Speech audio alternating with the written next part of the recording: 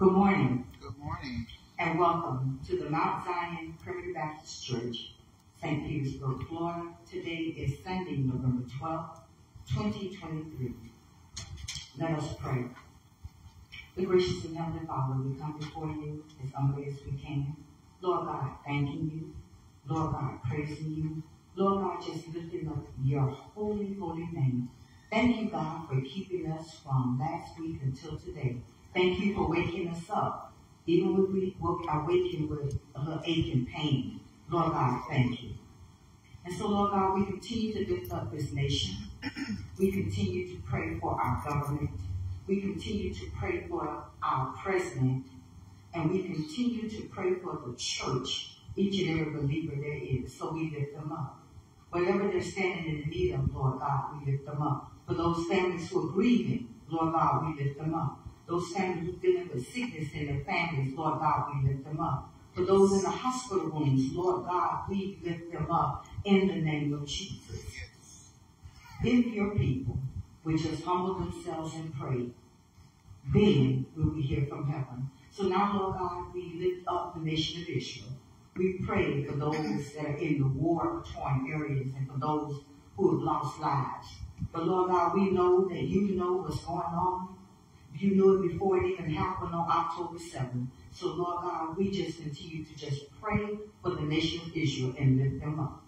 So as we come to study your word this morning, Lord God, something that's familiar to some of us and not to others, I ask that you decrease, Lord, but increase the mighty power of the anointing of the Holy Spirit. Lord God, my prayer is that everyone who is hearing my voice this morning don't just be hearers, but be doers of your word. So in Jesus Christ's name I pray. Amen. Amen. Um, our condolences still to the Proto family, also to Daisy Wise and to the Holbrook family who lost their niece. And uh, I want to take a moment to acknowledge and wish a happy 12th anniversary to my prayer group called Royal Women of Faith.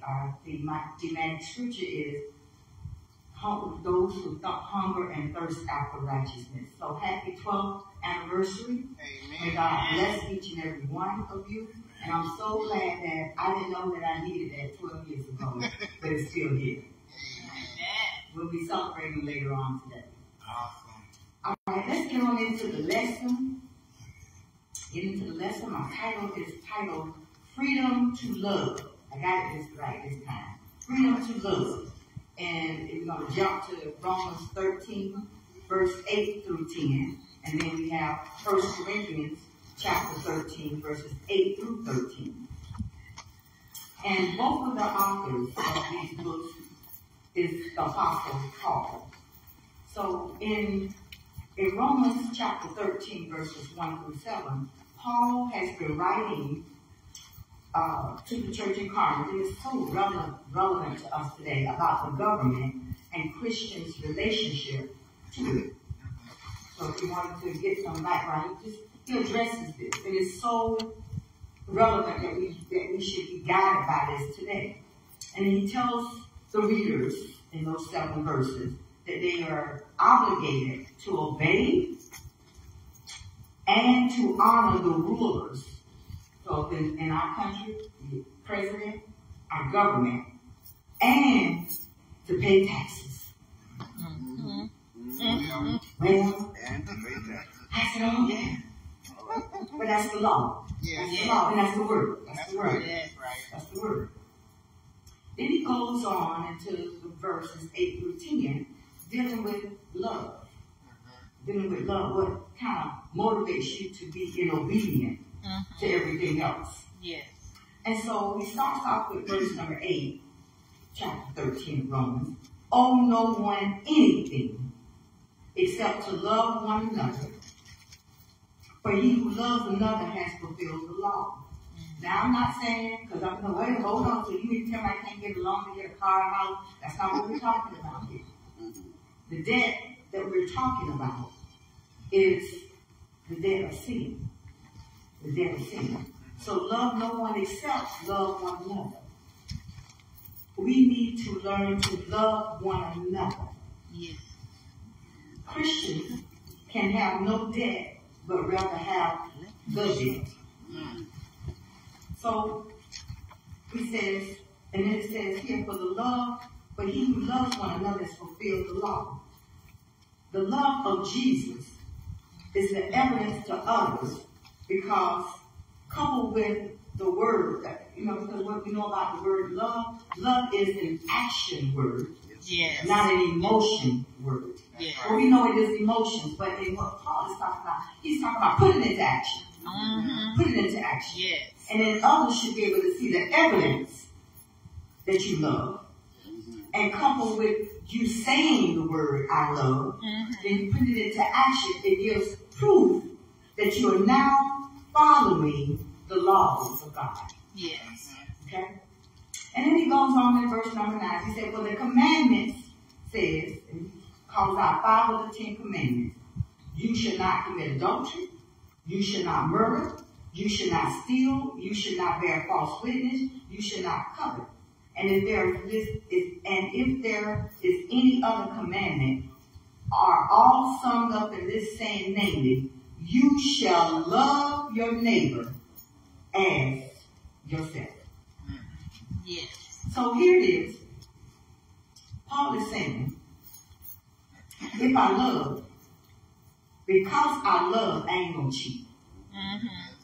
Because I love, I won't murder, I won't destroy you. Because I love you, I ain't gonna steal. Because I love you, I ain't gonna lie on you. And because I love you, I ain't gonna be jealous of you. Right. Right. So these are all actions of things that we do to one another of the commandments. It says, so all the things that motivate me should be out of love. Mm-hmm. So we sum up. It says, so you shall love your neighbor as yourself. Well, who is my neighbor? Any person that you come in contact with. It ain't just your, you know, my kids would say, the next door neighbor, no. It is your neighbor. And, it's, and, and let me help, I mean, it's strangers. Come on, I gotta love strangers. Yeah, you know, and you should not do any harm to them either. Right. You gotta put it into action Yes. love.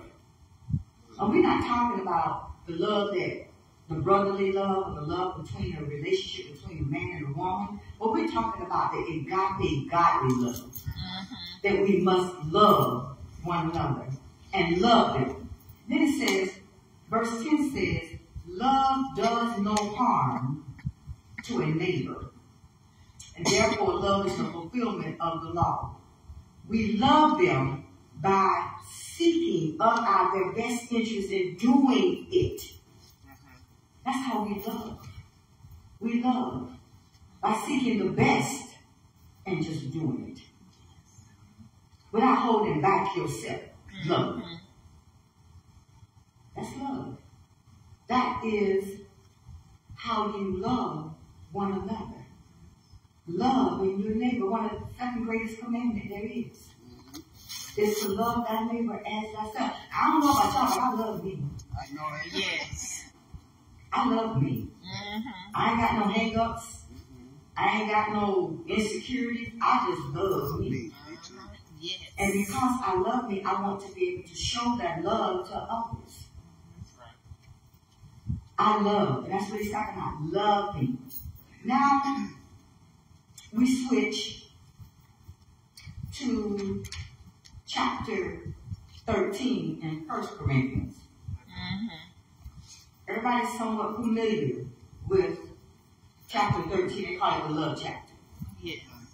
Corinthians chapter 13 is part of Paul's teaching on the spiritual gifts given to members of Christ's spiritual body.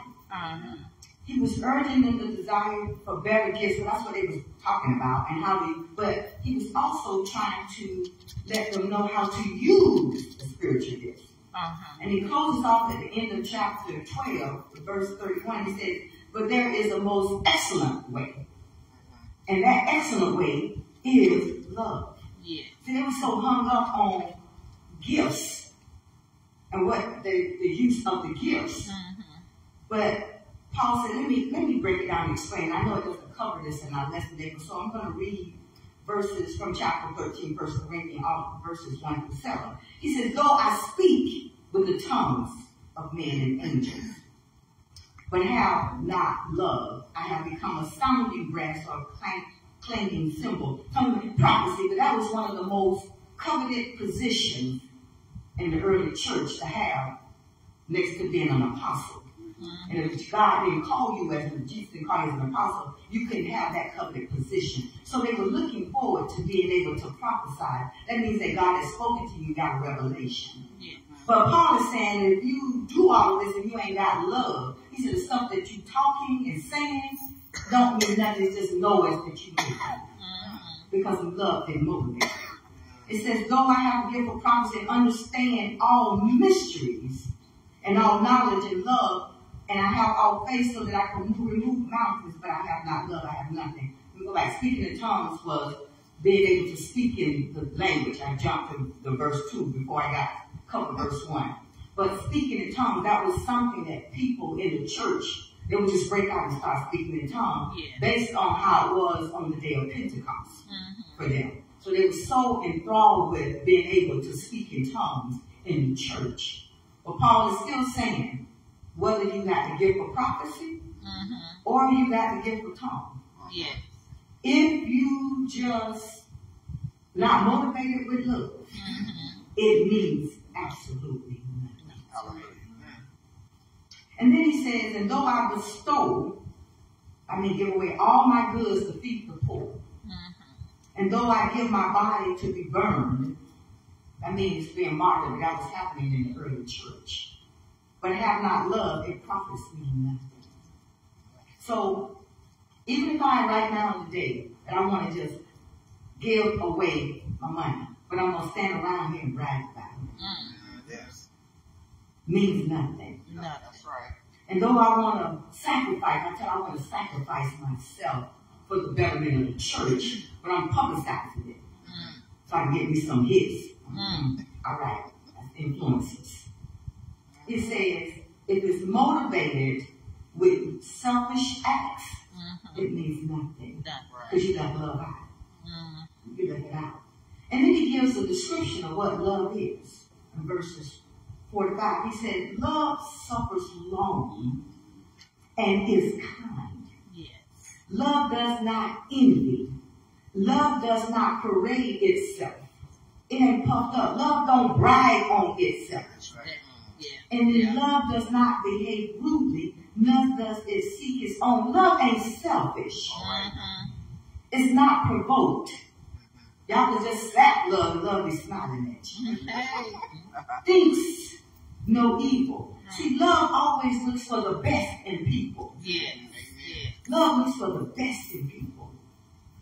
And all of these things about love is what love is. See, I always, in my old church, they call it the polka dot church, there used to be a sign up over the door thing that you could see from the, the from the pulpit straight ahead. It would say, the sign says, God is love. Yeah. And as a little girl, I used to be fascinated with that sign.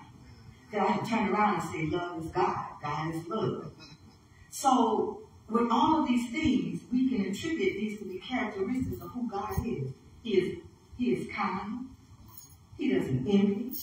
God don't puff himself up because he God. Yes. And he, and the way he behaves towards us. And he looks at, he is no evil. And I'm so glad about that because of the things that we do with God. That when he looks upon us, he still sees us as love. Yes. Lord. He sees us as love. And then verse number six says, Love, it does not rejoice in iniquity, but rejoices in truth. Yes. Yes. Don't get caught up in rejoicing about sin, but when it comes to God's truth, it rejoices. Yeah. And it bears all things. I mean, it covers all our faults. Mhm. Believes in all things, means all, hopes all things, and endures all things. That's what love does. Yes. That's love. Yeah. That's what Paul is talking about. He said, so I need to explain to y'all what love is because you all are so caught up in the gifts Mhm. and making sure that you got a gift in the body of believers. Yeah. But your gift don't mean nothing without love. All right. Yeah. And if your motivation is for self, it still means nothing. Nothing. It means nothing.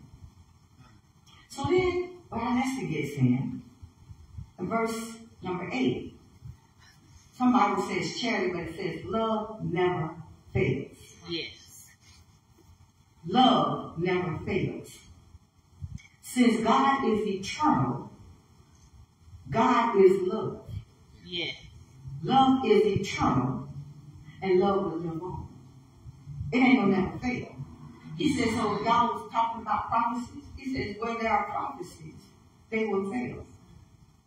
Whether there are tongues, because y'all was arguing in the church, which was the greatest gift, speaking in tongues and being speaking on behalf of God, Mm-hmm. having prophecy. He said they will cease. Whether there is knowledge, it will vanish away. And then he kind of explains it in verse number nine. Why? He says, because we know in part, we prophesize in part. Whatever God reveals to the people through these gifts is a partial revelation. It ain't the whole truth and nothing but the truth. It's just a partial. Why? Because it's necessary for the church where we are right now. So that's why the gifts were given. It was for the church. Yes. It was for the church. It's for the growth of the church and for the church to get understanding. But these gifts was never meant to be eternal. Okay. I was going to explain that. But love is. Yes. Love is. Mm-hmm. The gifts had a purpose. Mhm. And the purpose is for the church. And keep in mind now, this letter was never meant for the world. It was meant for the body of believers. Yes. For them to get the understanding and to get the knowledge of what love is all about.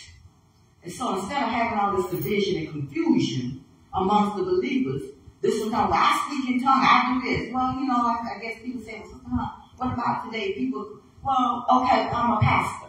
I'm a deacon. I'm a mother. You're so hung up on your title. God is saying, if you ain't got love, if you don't have love, if the pastor doesn't have love, it means nothing. If the deacons don't have love, it means nothing. If the mothers don't have love, it means nothing. If the stewards don't have love, it means nothing. Nothing. If the elders don't have love, it means nothing. If the brethren don't have love, Paul said it means nothing. It means nothing. Love should motivate you, and love should be up there as the top. And how you also treat one another. Yes. Yes. Amen. So then he goes on. In verse 10 he says, But that which is perfect, he's beginning to explain why prophecies are going to fail and why tongues are going to cease and why everything is going to vanish away. He says, But when that which is perfect has come, Mm-hmm. has come, what are you talking about? Well, you know, y'all know Jesus has already come. Mm-hmm. He's perfect. But what Paul was talking about, he's coming back again. All right. Yes. Y'all, I think Yes. y'all need to kill me again. He is coming back again. Yes. Alright. Yes. so since Yes. he's coming back again, Thank you, Lord. he said we already know he has come, but he's I'm coming back.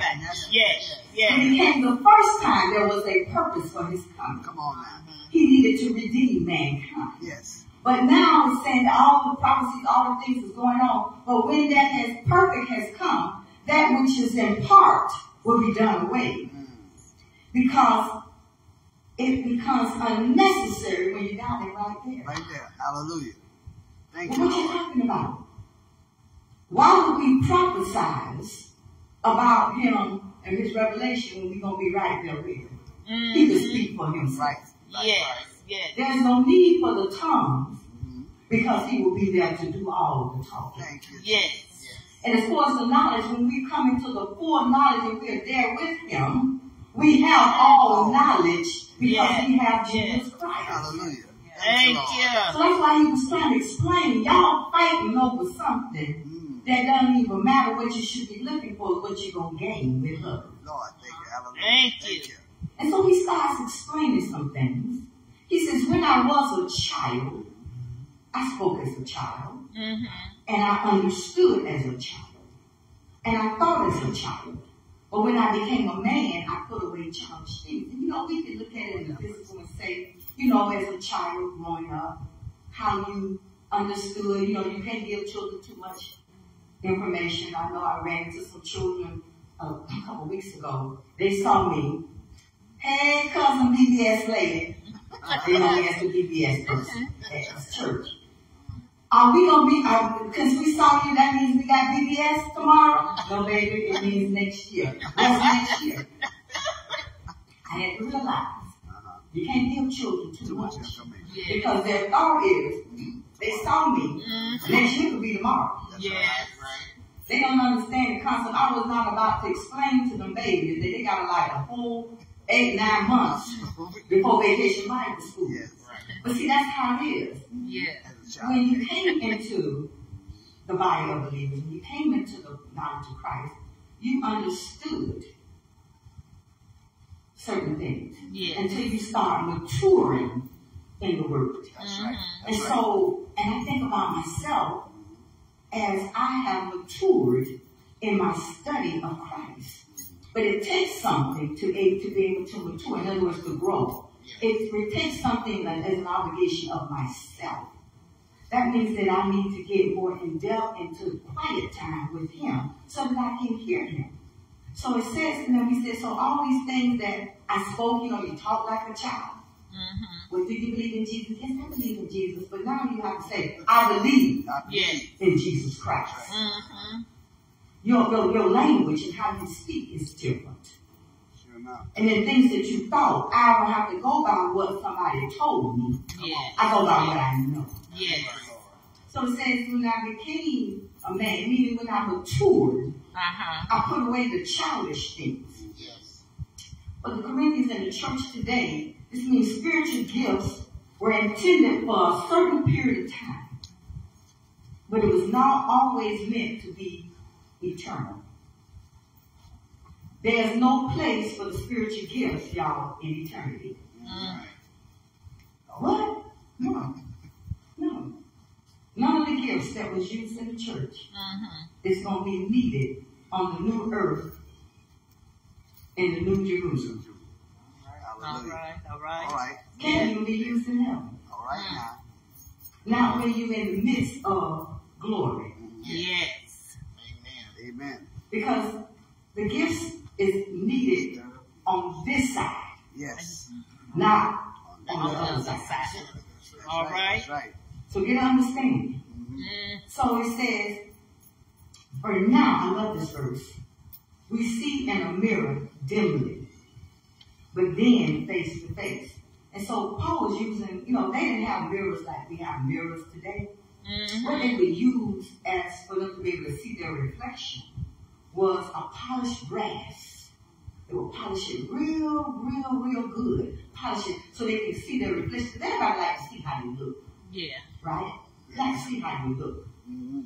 But it says that what, what you were looking at in that polished brass was something that was dimly. You didn't see the actual See the action. picture. Mhm. All right. You couldn't actually see yourself. But when you face to face, Face to face.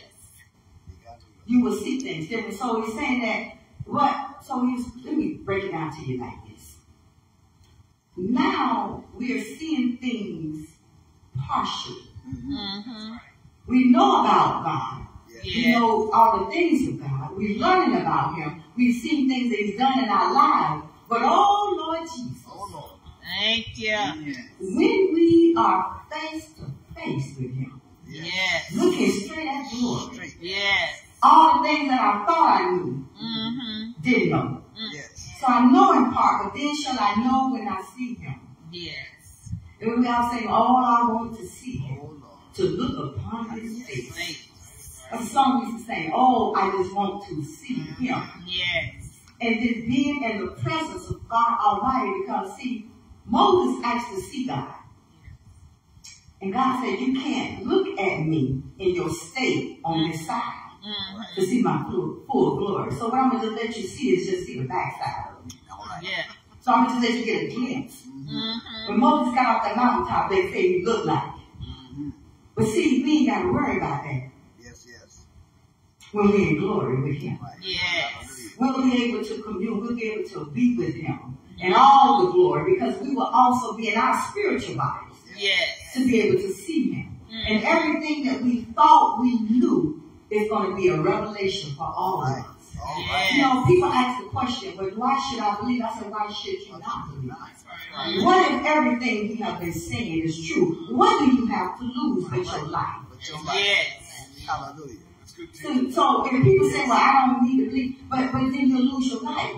And then on, on the flip side, if everything we say is not true, then hey, Hey, but for you, you lose out that's right. That's for all eternity. All Yes. So just accept, itself. believe, Come and on. confess. Yes. Yes. And then he says, and now abide faith, hope, love. Abide. That word abide means endure. Endure. Love endures. It perseveres amidst hardship and anything. It's like a soldier in battle. Yes. They don't go to battle just for survival. They go to battle for victory. All right. I say the soldier. That's That's right. in any type of military army. We say the army of the Lord encompasses all of us. Not just branching out into different branches. But Yes. when you go into battle, they go in there for two things: to survive the battle Yes. And to be victorious. Yes.